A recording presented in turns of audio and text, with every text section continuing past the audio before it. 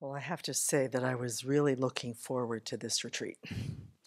After a year, I think that gave us amazing examples of gross impermanence.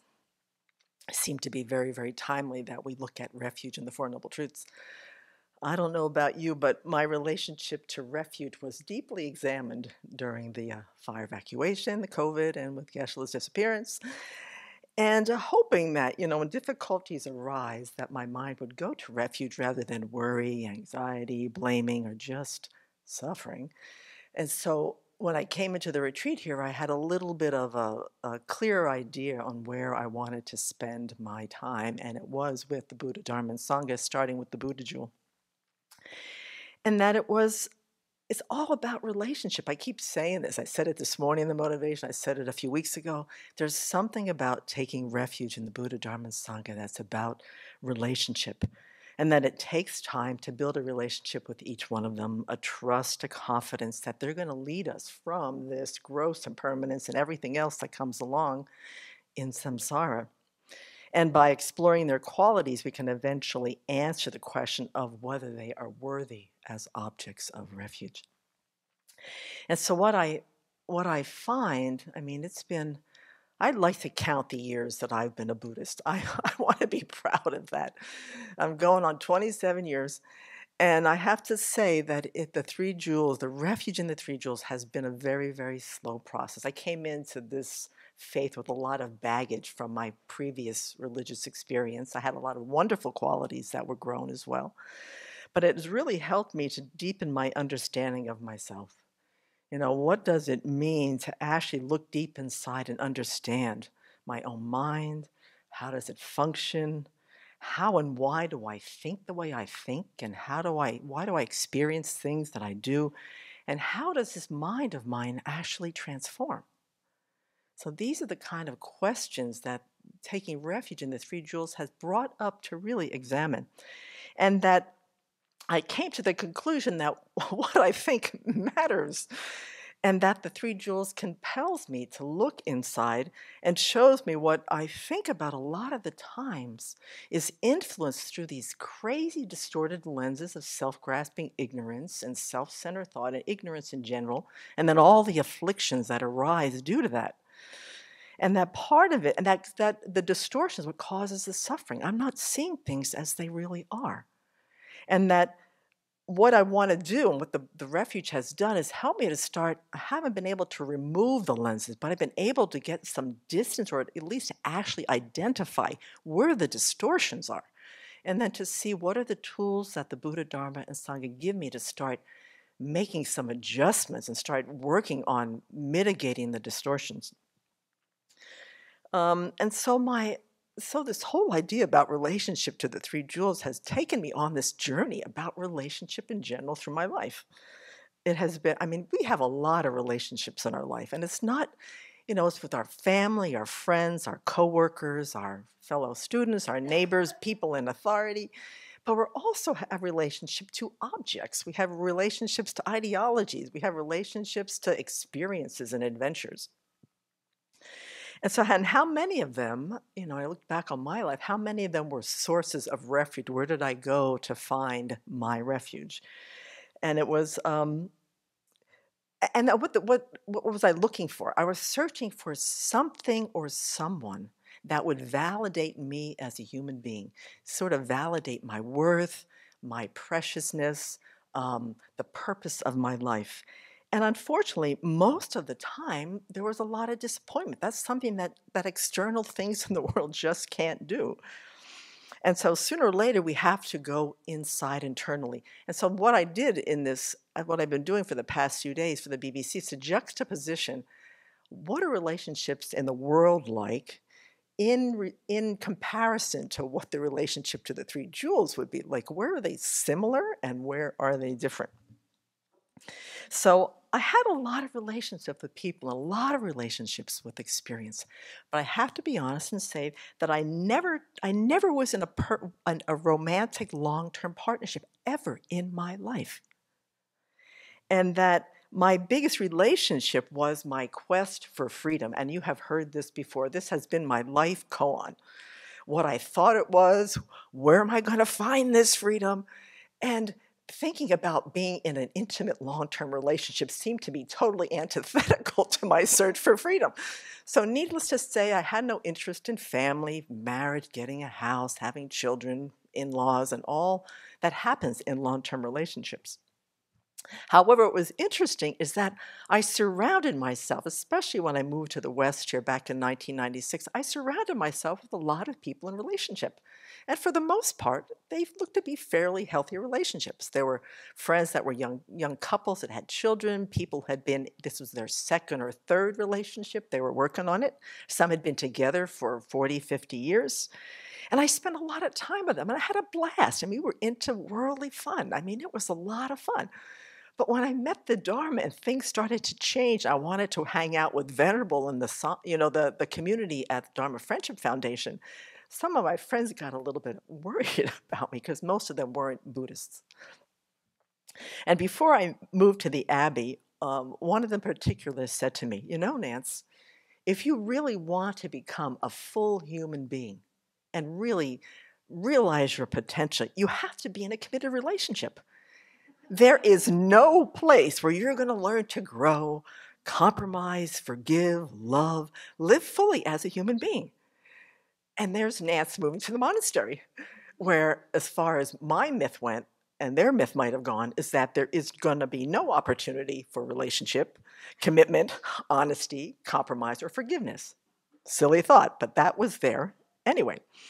But, you know, as Lama Yeshe says, they means well. And a lot of my friends, for the most part, my Dharma friends were just excited that I was coming. And of course, I wanted to be with Venerable and to help fulfill, in whatever way I could, this aspiration to start the Abbey. But I came to realize that somewhere along the line, I think I had been tracking it for most of my life, is that there was a sense that I was somehow deficient, that there might be some kind of failing because I couldn't put that one on one relationship together for any amount of time, that there was something that I was escaping, that I was running away from something, or I was a coward at some level, because I had no, no desire to go in that direction. So I had this nagging thought, and it followed me to the Abbey. So I had an exchange with Venerable early on, 2004, 2005, that her response to this this idea I had that I'd had for like 30 years. She put it to rest for the most part. And it was the most interesting exchange. We were, I was driving her to create.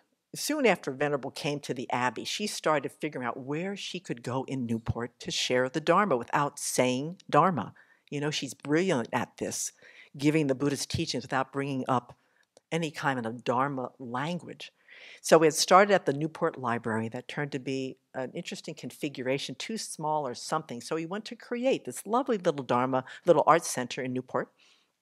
Some of our Shikshamanas gave some talks this fall. And there were maybe sometimes 15 to 20, 25 people. I think Venerable Dekyi was one of the people who came. And we'd send out flyers, we'd put things in the Miner, and there would be uh, things like love, um, reward or punishment. She did the four immeasurables, which was a really beautiful, I remember it very, very well that night. She really had people transfixed on how she described that. Uh, forgiveness, compassion, relationship. There must have been something, because on the drive home, I said something about this nagging thought I had. You know, am I a coward, Venerable? Should I have done that before I came here to make sure that I knew what I was, you know, not going to be missing? Did I, did I fail in this particular human activity? And she looked over at me and she just laughed and she said, Nance, you should rejoice in all the negative karma you didn't create by being in these relationships. Think of all the clinging attachment, all the jealousy, all the anger swimming in the eight worldly concerns that you avoided and the suffering that would follow now and in the future because you didn't do that. You presented yourself a great kindness. And then she said, if you want to develop as a full human being, the Dharma is the way to do it, and here you are. that was 20 years ago, and I remember that conversation, and it has guided me. And she was right. The three jewels have compelled and they compel all of us to redefine what relationship is, what refuge is, and what the huge differences are. So I went ahead and I put together my little list of what the differences are and some of the similarities using the three good qualities of the Buddha's mind. I'm on the Buddha Jewel right now, and Venerable Chonyi mentioned them last week. It's um, uh, knowledge, great passion, great compassion, and uh, power, or enlight- enlightening activities, Geshe Sopa calls it. Okay, so first of all, the Buddha, the three jewels, they are 100% there. They're not bored, they're not distracted, they are always there. Yet, there are no expecta- expectations, there's no agenda, there's no strategy, there's no faults, just endless love, wishing to be of benefit to us, but not being pushy about it. They're always there, ready to go deep. They're not watching games, cruising the web, going to sleep. Whenever you're ready to talk, be honest, regret, be kind, rejoice, gain wisdom, show humility, they are there in full support. And one of the qualities that we couldn't stand about people, and even in, here in the community, you know, gosh, you know, she thinks she knows everything.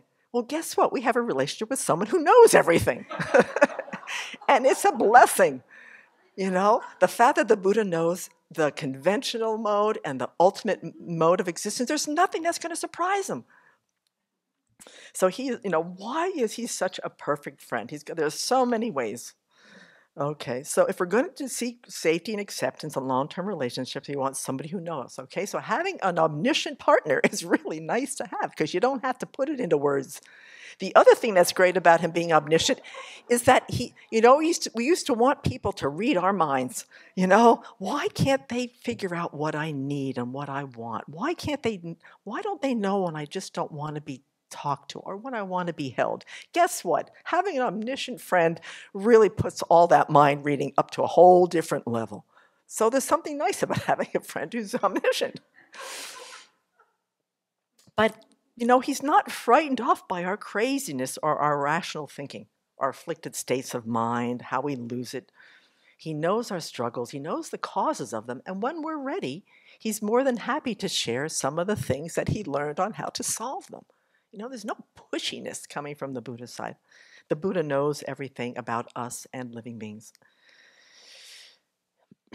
but, you know, with all this knowledge and all this knowing, the Buddha has to have great compassion. I mean, gosh, when I was thinking about what it is that he actually, how his great compassion, which never ceases, talk about having his undivided attention on us all the time, it doesn't wander away, is that he understands, as Lama Tsongkhapa describes in three principal aspects of the path.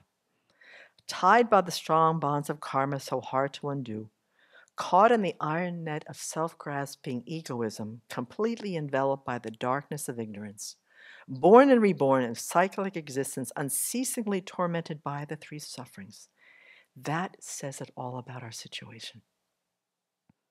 And affliction, and Geshe Sopa says afflictions and karma seem to take control over us. They govern our lives so that we don't have freedom. You can really, sometimes you just feel that. You just, you're out of control. You're being pulled by your afflictions, by your karma. Now, the Buddha has completely eliminated all afflictions, all ignorance, all obscurations that drive these suffering states of mind that we experience. Yet, in some way, he too is inextricably bound, and he is inextricably bound by his great compassion.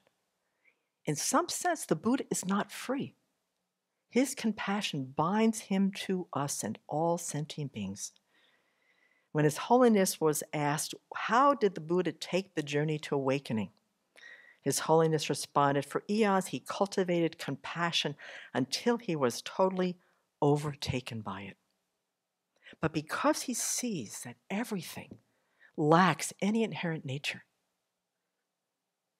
that is empty of any inherent existence, he's never going to fall into personal distress. He's never going to get burned out about helping us, try to alleviate our suffering. He knows our potential. He knows our fundamental nature. The, the tragedy for the Buddha is that he sees so much of this is so unnecessary. That's probably what but that ties him, really ties him, is the unnecessary suffering that we experience that he knows doesn't have to be there. But what could we want from somebody so dear? Undivided attention 24 7.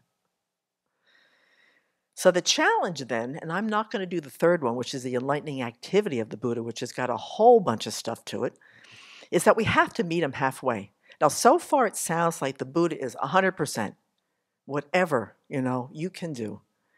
But when you get to the third one, which is the good qualities of enlightening influence, he wants us to have some skin in the game. And I'll tell you about that the next time I say it.